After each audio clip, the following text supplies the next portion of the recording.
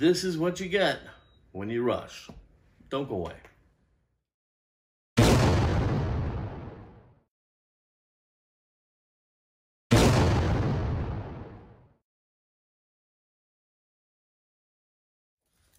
Hey everybody, it's Paul from Fat Guy Productions coming to you as always from beautiful Las Vegas, Nevada.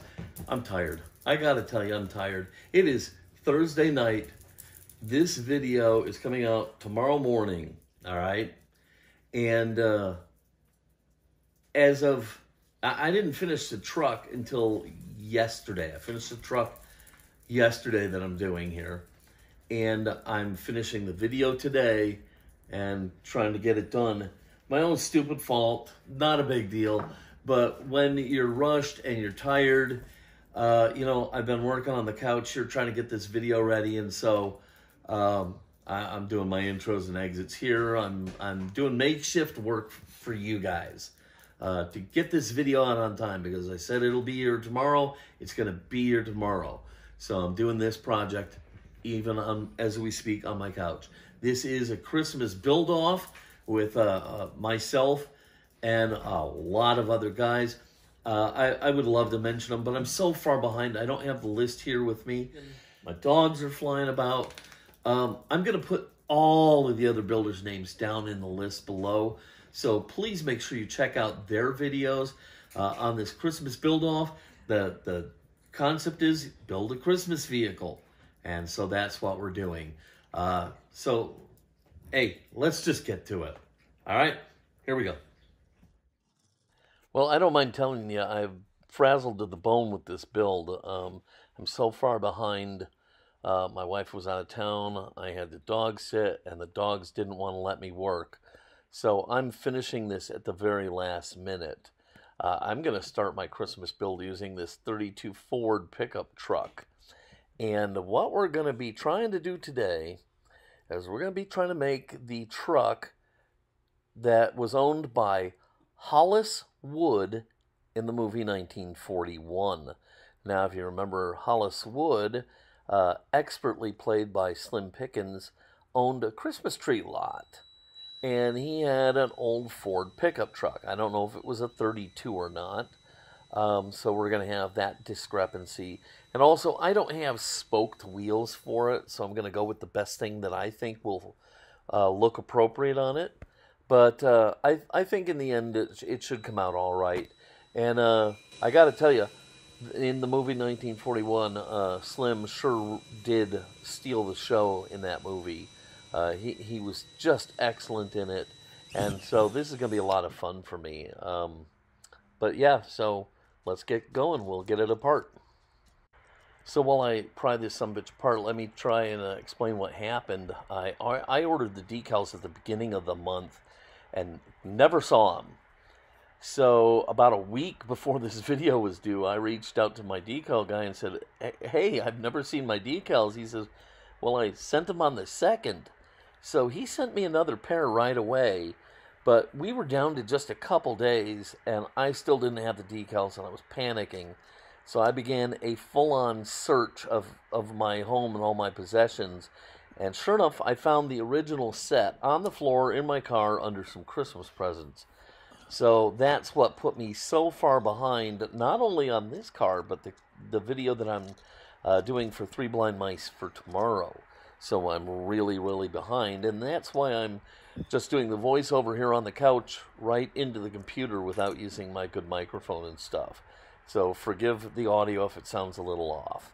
Anyhow, I got the car apart, and this is weird. The the fenders and interior are all one piece, and then they come off, and uh, I really didn't like that, especially because that bottom piece is plastic. Uh, that's going to make it more of a challenge for me to to to do this whole thing. So, um, hey, you know, it is what it is. You work with what you got. So we got to get these doors off and this grill off, and then we can head to the stripper.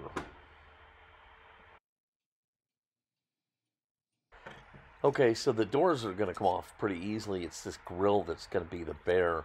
It's got like two little spring clips in it that hold it in, and boy, does it hold it in. Uh, so what you got to do is you got to kind of press down on one and get it to pivot out and hope you don't break the whole thing. But if you do break it, you should be able to glue it back on. As to the doors, they just kind of are held in uh, with their little hinge assembly. They just kind of pivot in, and then the little uh, spring steel tension band uh, kind of holds it all together. But uh, so that's easy enough. We'll take the doors off uh, and get back to trying to figure out how to get that stupid grill off here in a minute. Well, after a big fight, I finally got the thing apart, and now we can dump it into the warm liquid goo uh, to get rid of this uh, baby poop yellow paint. In you go. Bloop. Uh, apparently, Klean-Strip was uh, killing people or something like that. I don't know, but they've pulled it all off the shelves and have reformulated it and stuff. So I'm desperately trying to figure out what I'm going to use for stripper here going forward. Um, hopefully we can find something I like. Anyhow, um, the truck has been in the, the goo for a while, so we can go ahead and pluck it out. The paint should be uh, should be loose enough. We'll tap it off, clean it, and then we'll uh, take it to the sink for a bath under some warm soapy water. You know, I've said it before and I'll say it again. I, I really do love the convenience of the warm liquid goo bath, but uh, I sure do miss watching the stripper do its thing, you know, when, when you would brush it on. Anyhow, all right. We'll just uh, hit it with the brush here real quick just to see if everything's going to slurm off of it, which it is. Uh, the paint's nice and loose. So we'll get as much of it slurmed off, and then we'll head to the sink. And uh, by the way, just just so you all know, slurm is a uh, trade term uh, used by diecast restorers. So it's it's not just some frivolous word. It is actually a technical uh, word for this. Yeah, that's slurm. Don't know how to spell it.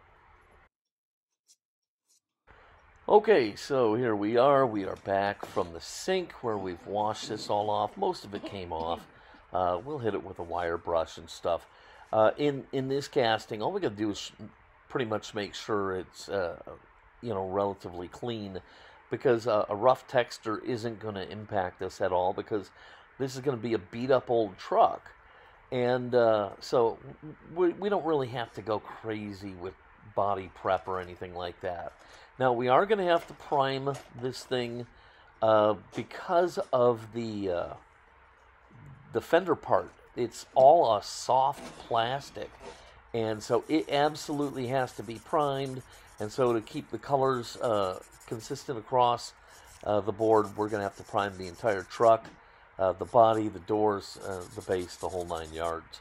Um, not a big deal. I'm going to use uh, Tamiya Fine Primer when I get to that.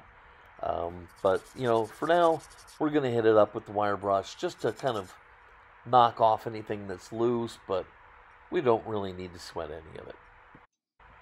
Well, so um, we're at the paint booth now, and uh, here's my Tamiya Fine Primer. That stuff is a miracle. It really is. It does a great job. It doesn't kill any of your details. Uh, I just love it. And you'd, you'd be surprised, you know, it's such a little can that you kind of start thinking, well, what the heck, especially for the price. But you'd, you'd be surprised how far this goes. And it'll stick to your die cast really nicely. And more importantly, it will stick to the uh, plastic like we'll see here in the fenders. Um, or you can also get like a one of those big rattle cans of, of primer made specifically for plastic, if that's your thing. All right, after letting the primer dry, we are now painting the entire thing with a Tamiya flat brown. Um, that's going to give us that that whole overall kind of dirty, rusty look, um, and then we can build up from there. So everything gets Tamiya flat brown. Um, you know, I said I'm using the Tamiya flat brown, and that's going to lead me to make a critical mistake. And that's why I don't like to rush. I'm, I'm not a guy who rushes through this stuff. I usually take my time. But I am rushing here and it's going to come back to bite me. Now it's time for a product that I really love. It's these oil brushers by MIG. I love these things. They come in a lot of different colors. They're great for doing modulation, weathering, all sorts of stuff. Uh, my most used oil brushers are the rust ones, and uh, it's basically oil paints uh, made for modelers. So uh, this is a great way to apply uh, special effects uh, in a very convenient package. Really works great. So what I'm doing here is I'm just applying little dabs of this in places where this truck would probably see a lot of rust. So why oil paints? Well, I'll tell you. Um, oil paints are really, really forgiving. They work fantastic over these acrylics, so I can put them down, manipulate them. I can I can take them completely off if I want to. Um, I can feather them in. I can, uh, you know, do a lot of different things here. And uh, normally you have to take some of your own oil paint and thin it down with a little Turpenoid. Um, I don't have to do that with these oil brushes. I just have to give them a good shake they come with a really nice little brush inside of it, and I can just start dabbing it wherever I feel uh, the need. And uh, they work really fantastic. I highly, highly recommend them. Now that I've placed my little dots of uh, oil uh, colors all over the model, I'm going to break out some Turpenoid in a nice big soft, soft brush. And I'm going to uh, dip my brush into the Turpenoid, uh, dry away most of it, and then I can start to use this soft brush to feather these colors in, and uh, you have just complete control over the effect. Uh, just use it very, very lightly. You can just soften it up a little bit, or heavy. You can make it almost imperceptible. Um, really great. You can even do this the next day, you know. So it, it's really a wonderful thing but it just kind of really helps blend it in and and give it that little bit of touch of realism. It's it's a fantastic thing. Uh, I love these things, and they work great.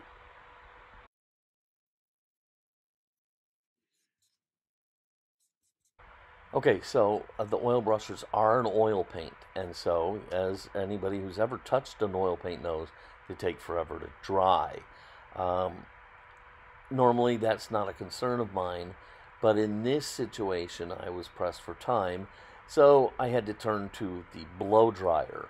Uh, you know, just took out my wife's uh, blow dryer, turned it on uh, high heat, and just started to heat this thing up until the oil paints dried up, uh, so I could keep moving because I just didn't have any time to spare here. So the oil brushes are dry, and I'm over here at my uh, workbench again, and uh, I'm cutting out the decals. Yeah, I know you can't see anything there. It looks like a little piece of paper, but trust me, there are some decals there because Hollis Wood's truck had some very, very unique markings to it, and that's what's really going to make this sing. So uh, these were an important thing, and you can understand why I was panicking when I didn't get them. It's it's a funny thing. Um, he sent me out a second set when I called to see if, if where, where they were. So after I found the first set, I had to send back to him and say, hey, go ahead and bill me for that second set because, you know, it wasn't his fault. Um, so now I've got two sets of these decals. But hey, you know, I'm actually giving this truck away uh, from the Christmas uh, extravaganza uh, live stream and so maybe I'll maybe I'll make one for myself. You never know. So maybe these decals won't go to waste. So here's where I'm going to make my mistake that I mentioned earlier.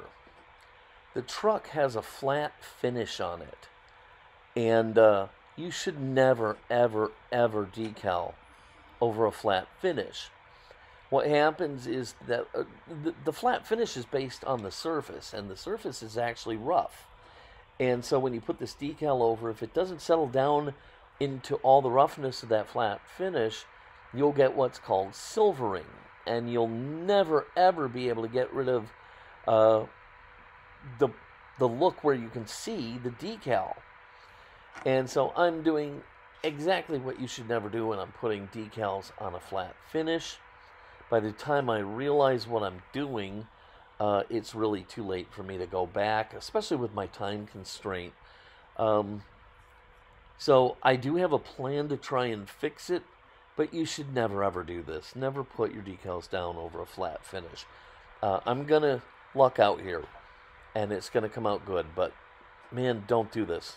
If you learn anything from this video today, do not do this. If you want a flat finish on your vehicle, paint it, put a gloss finish over it in, you know, like using uh, Pledge Floor Care or something. Then put your decals down. Then put a flat finish over the entire thing. And that should make your de- decals just about disappear. But anyhow, I digress. We are taking the decals and just putting them on where they belong.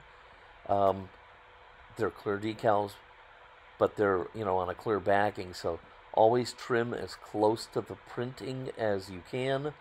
Um, give the decals as little an opportunity uh, to stand out as possible.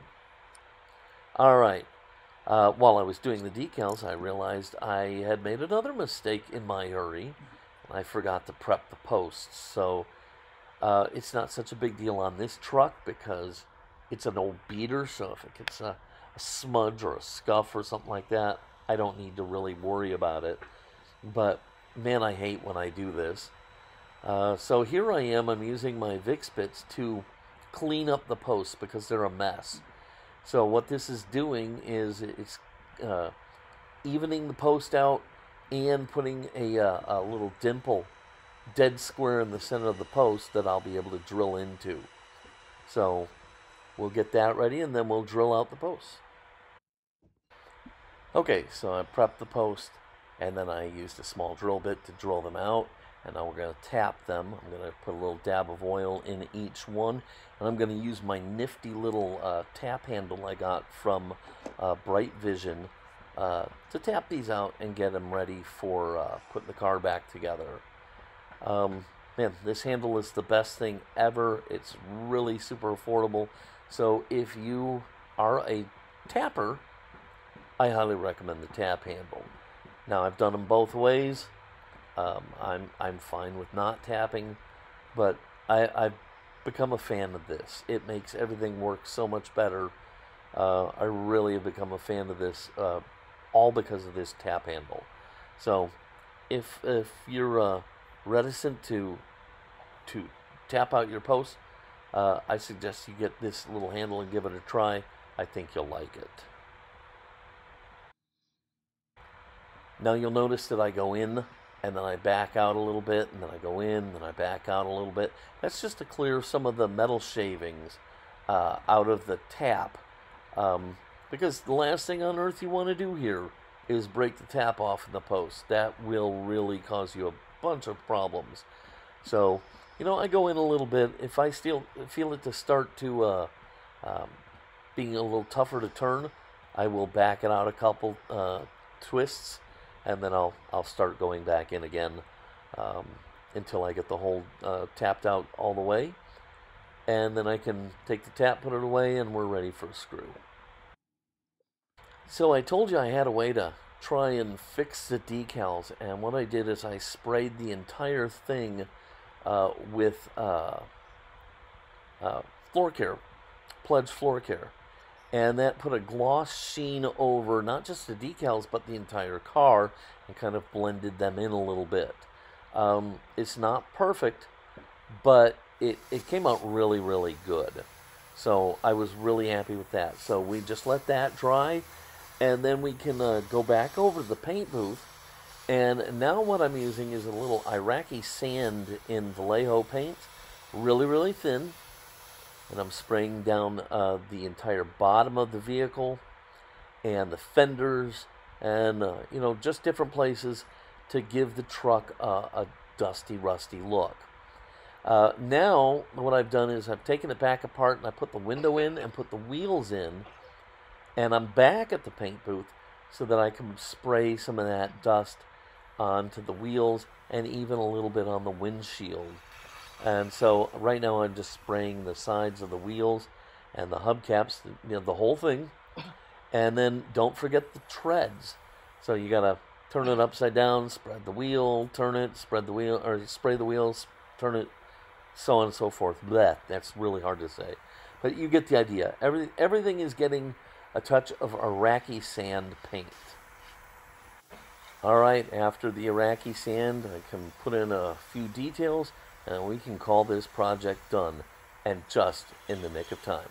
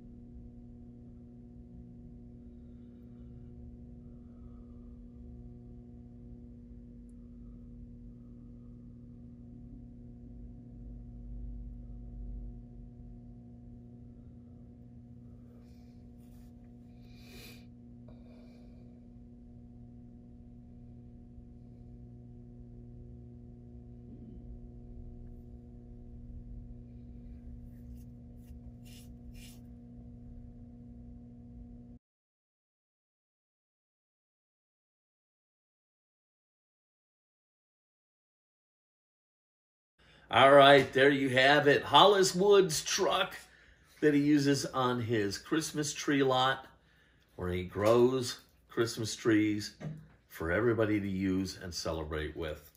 Uh, it was a lot of fun and it uh, helped me remember this fantastic movie and, and the wonderful role Slim Pickens played in it.